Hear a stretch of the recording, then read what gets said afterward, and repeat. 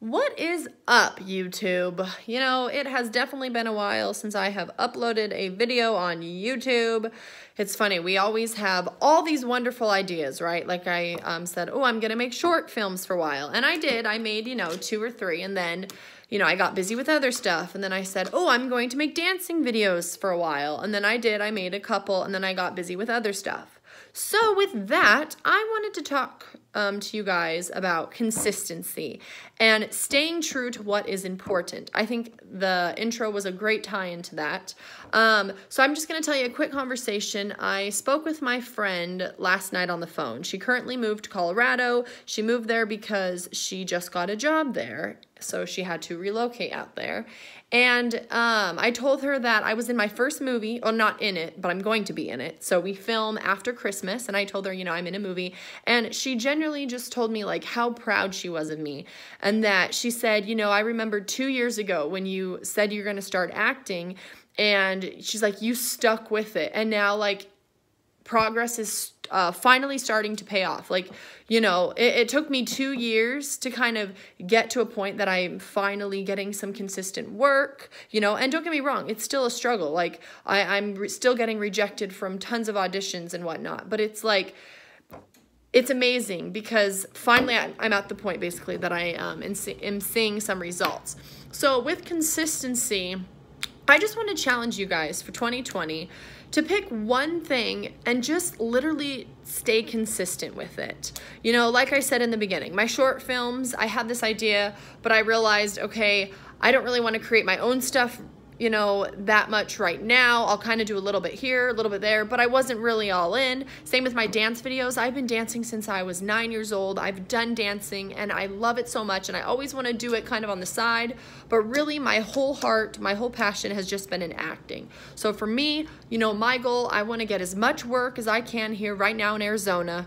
And then from there, I hope to go elsewhere, another state, you know, just try to build as much acting as I can for myself. So, and I'm not going to lie, guys, guys, I have stayed consistent with that. That's the thing that means the most to me, and I have stayed consistent with it. Every day, even if it was just for a little bit, I did something with my acting, whether it was, you know, going online and applying for 10 roles. Maybe I heard back from none of them, but at least I was consistent with it. So I challenge you, what are you going to be consistent with? All right? Um, maybe you say you're unhappy at your job. All right?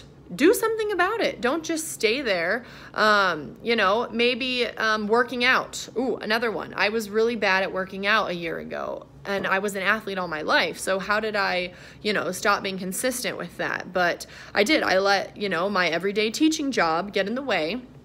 And I said, "Oh, I'm too tired. I'm not going to work out." But now I'm much more consistent. You know, I work out Monday, Wednesday, Friday, Saturday. So I'm consistent. And if I miss it, you know, I'm hard on myself about it because I chose that that's going to be something that I'm consistent with. Eating healthy, all right? Props to my boyfriend because he really encouraged me to eat a lot more healthier than I was. I used to eat like crap all right, I would bring like those little cups of mac and cheese, just little chips, whatever. But now I have a salad almost every day for lunch. Okay, I do eat out sometimes, but when I eat out, I try my best to make healthy choices. So I'm a lot more consistent with that. I have a lot more energy. I feel much better because of consistency all right and i feel like i'm preaching and i'm definitely not perfect at all but i'm just feeling really good tonight really motivated and i hope that i can motivate some of you.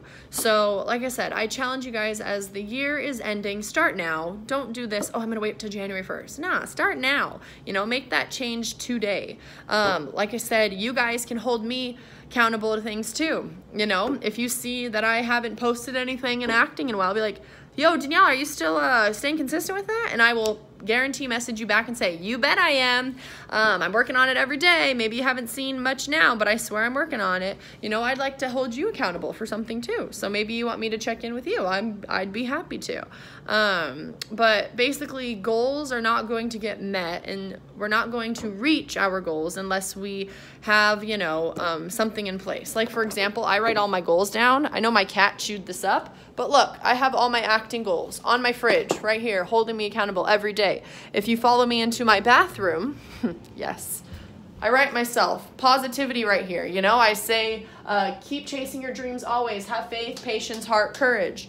All right, my goals are there. Oh, if you follow me into my bedroom, I have this acting notebook, this purple notebook right here. This right here. Oh, can you see it? Oh, sorry guys. Right, right. Oh shoot, right here. All right, it's this thick. It's full of acting stuff. I document every single audition I've been on. I kid you not. Every audition.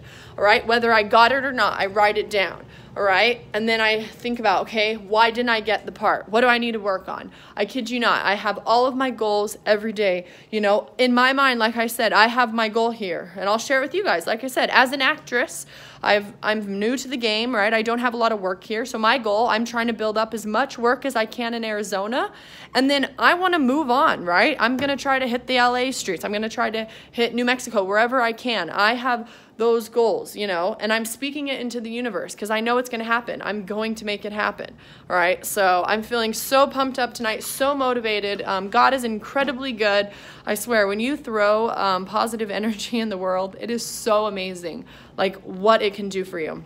It's so weird. Sometimes I'll just be sitting in my bed and I'll just feel overwhelmed with just joy, joy to be alive, you know, happy to be working towards something every day that is just driving me. And I'll just start crying and I'm like, "Oh my gosh, why am I crying?" And and you know, I don't worry, I get sad too. I mean, I'm human, but like I said, the second I found um, you know, like I felt like I had a purpose and I was pursuing my dream, my life has changed ever since. And I tell you guys this because I hope that yours can be changed too and that when you decide to pursue something that you love you know um, now i'm just rambling but basically you will be so much happier. Um, so with that being said that's it. I'm gonna get off. I talked really fast and i said a lot. So make it a great 2020 get after what you love. Let's stay consistent